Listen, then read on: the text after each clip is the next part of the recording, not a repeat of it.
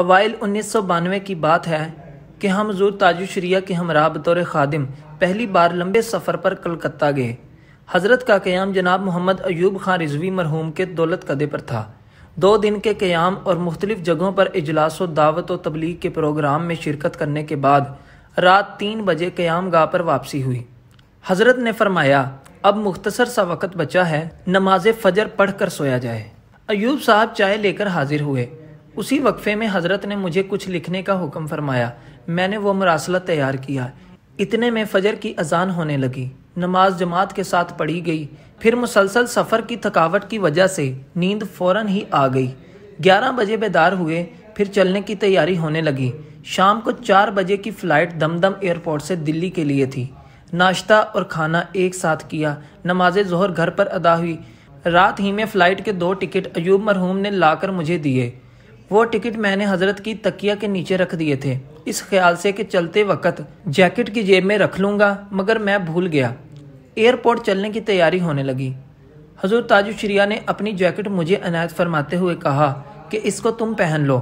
میں نے حضرت کی جیکٹ پہن لی اور اکثر دوران سفر حضرت کی جیکٹ میں پہن لیا کرتا تھا۔ حضرت بہت کم جیکٹ پہنتے تھے، مگر جیکٹ ساتھ میں ضرور رکھتے تھے۔ اس کی وجہ یہ تھی کہ اس میں ضروری کاغذات پاسپورٹ، ٹکٹ، قلم اور دوا وغیرہ رکھے جاتے تھے۔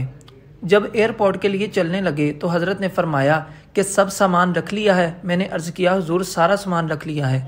حضرت مطمئن ہوئے، گاڑی میں بیٹھے، کچھ ہی دور چلے تھے کہ پھر فرمایا کہ سامان چیک کر لیا ہے۔ میں نے پھر فرمایا کہ سب چیک کر لیا ہے۔ جب ایئرپورٹ کے قریب پہنچے، پھر فرمایا کہ ٹکٹ کہاں ہے؟ بس اتنا کہنا تھا کہ فوراً یاد آیا کہ ٹکٹ تو تکیا کے نیچے ہی رہ گیا۔ جیکٹ کے چاروں جیب چیک کیے، لیکن ٹکٹ تو میں نے رکھا ہی نہیں تھا، وہ بھول گیا تھا۔ دم دم ایئرپورٹ بالکل قریب تھا، پلین کا وقت صرف آدھا گھنٹہ بچا تھا۔ میں فوراً ایوب رضوی کے ساتھ گھر واپس آیا۔ یہ وقت بہت ٹریفک کے رش کا ہوتا ہے۔ گھر گیا، ایک گھنٹہ لگا۔ ادھر لوگ حضرت سے پلین کے تاخیر سے اڑنے کے لیے دعا کرانے لگے۔ جب میں ٹکٹ لے کر واپس پہنچا تو معلوم ہوا کہ دو گھنٹہ پلین لیٹ ہے۔ بہت آرام سے بورڈنگ کرایا۔ تب پتہ چلا کہ حضرت شروع ہی سے یاد دہانی کرا رہے تھے۔ اور یہ حضرت کی زندہ کرامت ہے کہ میں ٹکٹ بھی لے آیا، پلین لیٹ ہو گیا۔ بہت سارے لوگ تخیر کی وجہ سے داخلے سلسلہ بھی ہو گئے۔ یہ ہے اولیاء کرام کا مرتبہ۔ یہ ہے اہل اللہ کی شان۔